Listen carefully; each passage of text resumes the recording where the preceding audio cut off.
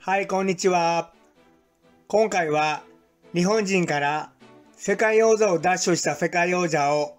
ノックアウトしたとんでもなく強いボクサーを紹介いたします。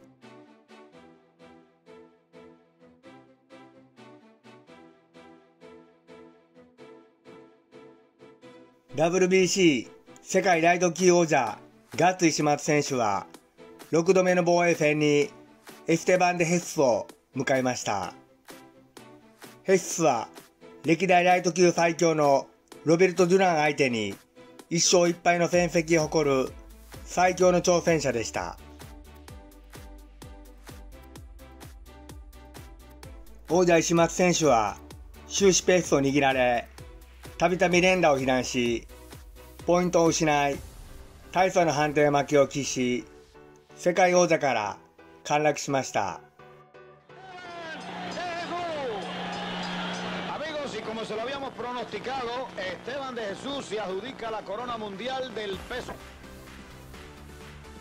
1978年1月 WBC 世界ライト級王者のヘッスは WBA 世界ライト級王者ロベルト・ドゥランと世界王者統一戦を行いました。両雄はこれまで2度戦い1勝1敗の対戦成績なのですが3度目の対戦は世界ライト級王座統一戦という最高の舞台での激突となりました。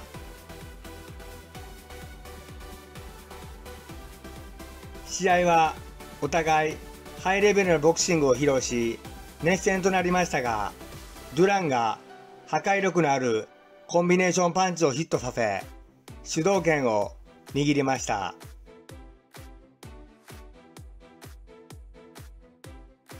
迎えた第12ラウンド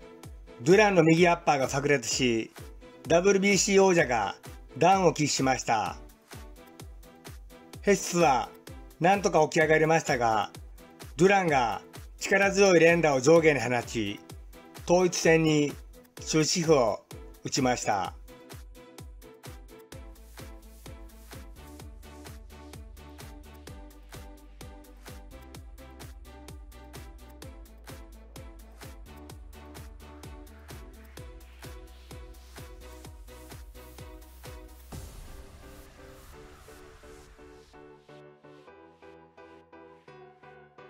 浜田陣営の作戦は最初の3ラウンドで全てのスタミナを使い切ることで開始と同時に浜田選手は世界王者に襲いかかり怒涛のラッシュを仕掛けたのです。接近していても浜田選手のパンチは強烈でこの日は渾身の力を込めて左拳をヒットさせました。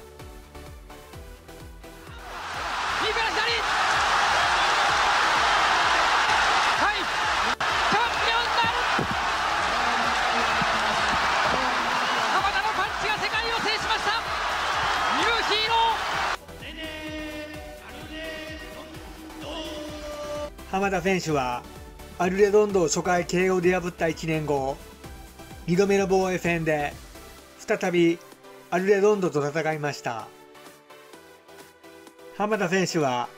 度重なる左拳の骨折と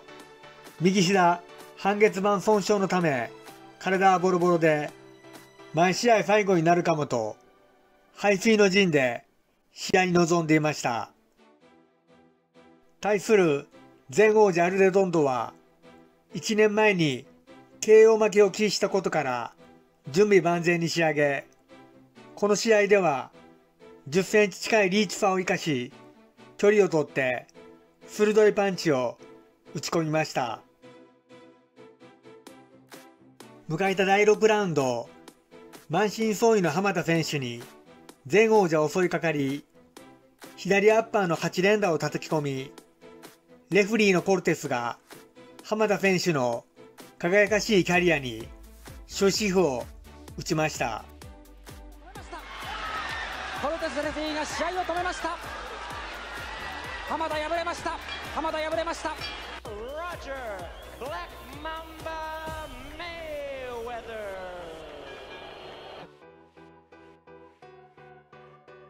浜田選手から王座を奪ったアルレドンドは、初防衛戦の相手にロジャー・メイウェザーを迎えました。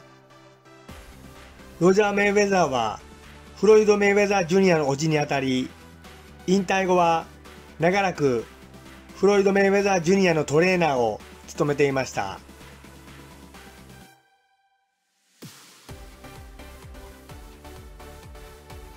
ロジャー・メイウェザーもやはりテクニシャンで、15戦目に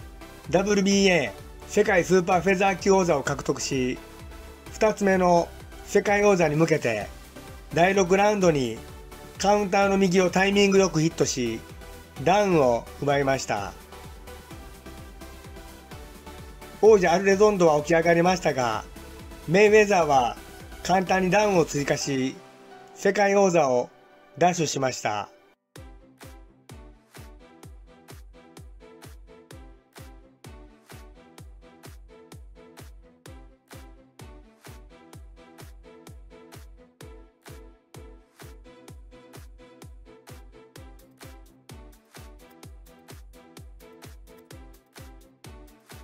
アマチュアエリートでプロ入り後も19戦全勝のリコ・ラモスが WBA 世界スーパーバンタム級王者の下田選手に挑戦しました。サウスポーの下田選手はリズムに乗ったフットワークからスピードあるパンチを放ちペースを握りました。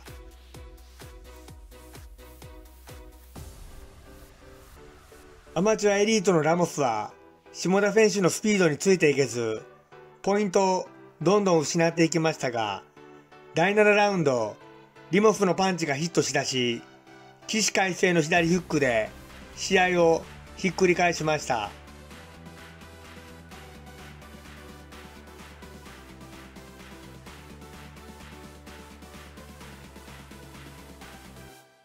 下田選手から王座を奪ったラモスは、初防衛戦にギゼルモ・リゴンドを迎えましたが初回早くもリゴンドの左ストレートでダウンを喫しました。リゴンドはアマチュア時代2大会連続オリンピックで金メダルを獲得するなど王者ラモスをはるかに上回る実績を誇りプロ入り後もここまで8戦全勝で暫定王座を獲得し正規王者のラモスに挑戦し、第6ラウンド、リゴンドーは猛然と前に出て、左を顔面からボディに叩き込み、全勝の王者をノックアウトしました。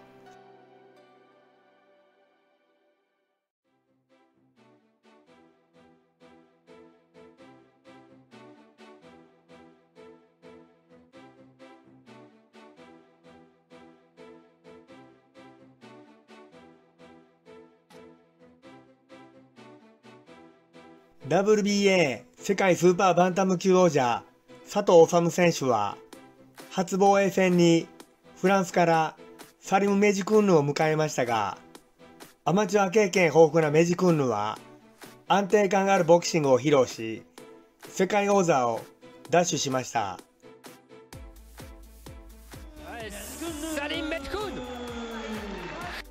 2003年7月マエル・モンシプールは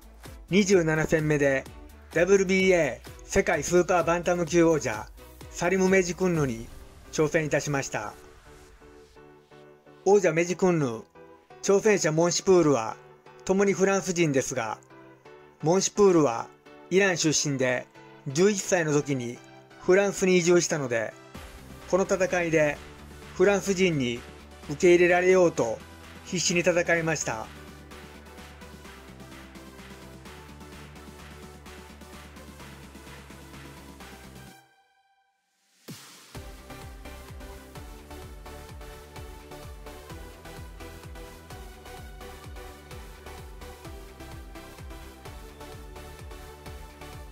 サウスポーでテクニシャンの王者メジクンヌは常に前進するモンシュプールをだんだんさばききれなくなり最終12ラウンドついにモンシュプールの強烈な右がヒットし王座を奪取するとともにフランス人として受け入れられたのでした。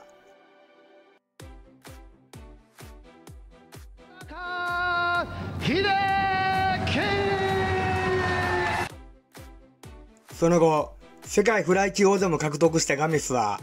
37歳にもかかわらず、4階級目の世界王座を狙い、2000年10月に WBA 世界スーパーフライ級王者、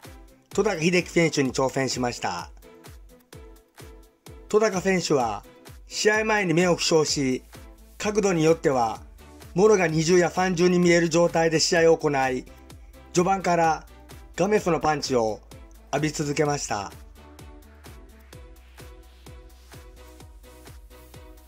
ガメスの強烈な右アッパーが何発もクリーンヒットし戸高選手は顎が折れ口の中からかなりの出血が見られましたがガメスの強打を耐え前の試合の翌体制のように逆転の機会を伺っておりました。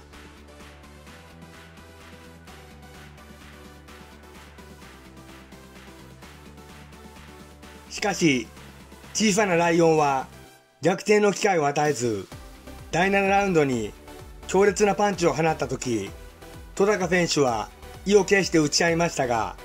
ガメスの右アッパー、左フック、右ストレートがヒットし、戸高選手は力尽きました。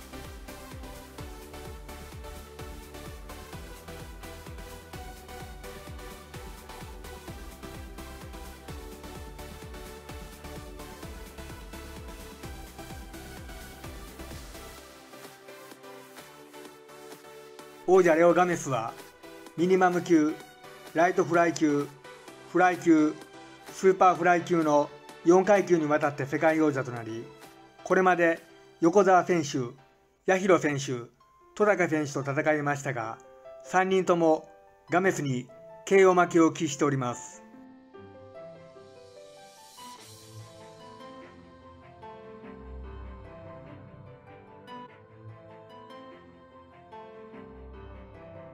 王者ガメスの持ち味は軽量級離れした一発の破壊力と40戦以上の豊富な経験です。一方セレス選手の持ち味は相手を研究し長いラウンドを想定して自分のペースに持ち込み国際ジム伝統のショートの連打で相手を追い込んでいくのです。10ラウンドに入ると劣勢を挽回するために王者ガメスは強烈なパンチを振るって前に出てきます。しかしガメスの突進を予想していたセレス選手は前に出てくるガメスをがっちり受け止め逆にボディ右フックを叩き込んで真っ向勝負を挑みます。